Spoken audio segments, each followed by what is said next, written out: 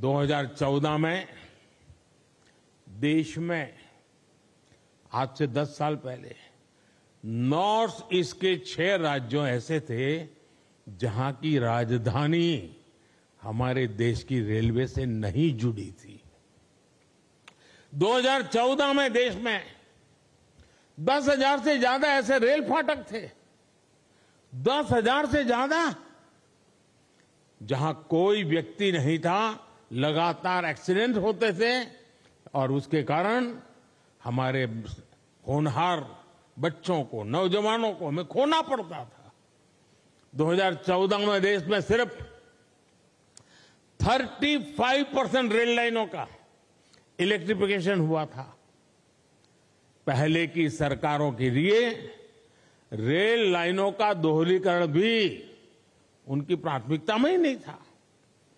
इस परिस्थिति में हर पल कौन मुसीबतें झेल रहा था? कौन परेशानियों में पीसा जाता था?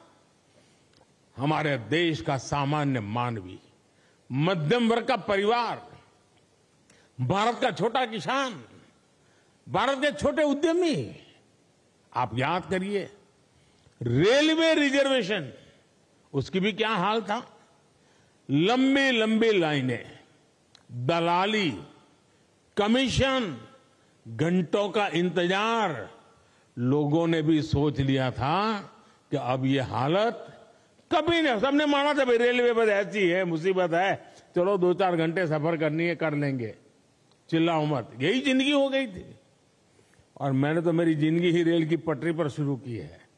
जब मुझे भली पाती है, रेल का क्या हाल था। साथियों, भारतीय रेल को उस नर्क जैसी स्थिति से बाहर निकालने के लिए जो इच्छा शक्ति चाहिए थी, वो इच्छा शक्ति हमारी सरकार ने दिखाई है। अब रेलवे का विकास, सर्वा, सरकार की सर्वोच्च प्राथमिकताओं में से एक है। हमने 10 वर्षों में औसत रेल बजट को 2014 से पहले की तुलना में छह गुना ज़्यादा बढ़ाया है। और मैं आज देश को ये गारंटी दे रहा हूँ कि अगले पाँच साल में वो भारतीय रेल का ऐसा कार्यकल्प होते देखेंगे जिसकी उन्होंने कल्पना भी नहीं की होगी। आज का ये दिन इसी इच्छा शक्ति का जीता जागता सबूत है। देश का नौजवान तय करेगा, उसको कैसा देश चाहिए, कैसी रेल चाहिए। ये दस साल का काम, अभी तो ट्रेलर है, मुझे तो और आगे जाना है।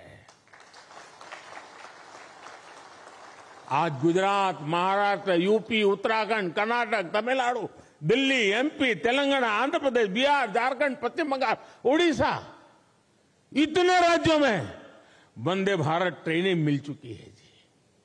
और इसी के साथ ही देश में वंदे भारत ट्रेन की सेवाओं का शतक भी लग गया है। वंदे भारत ट्रेनों का नेटवर्क अब देश के 250 से अधिक जिलों तक पहुँच चुका है। जन भावनाओं का सम्मान करते हुए सरकार वंदे भारत ट्रेनों का रूट भी लगातार बढ़ा रही है। अहमदाबाद, जामनगर वंदे भारत ट्रेन अब द्वारिका तक जाएगी। और मैं तो अभी अभी द्वारिका में जाकर के डुबकी लगा के आया हूँ। अजमेर, दिल्ली, सराय रोहिल्ला, वंदे भारत एक्सप्रेस अब चंडीगढ़ तक जाएगी। गोरखपुर, लखनऊ, वंदे भारत एक्सप्रेस अब प्रयागराज तक जाएगी।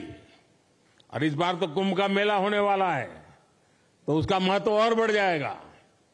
तिरुवनंतपुरम कासरगोड, वंदे भारत एक्सप्रेस मंगलुरु तक विस्तार किया गया है। जदि आपण को आम भिडी भल लगा तेब आम चेल्क लाइक सेयार और सब्सक्राइब करने को जमा भी बुलां नहीं।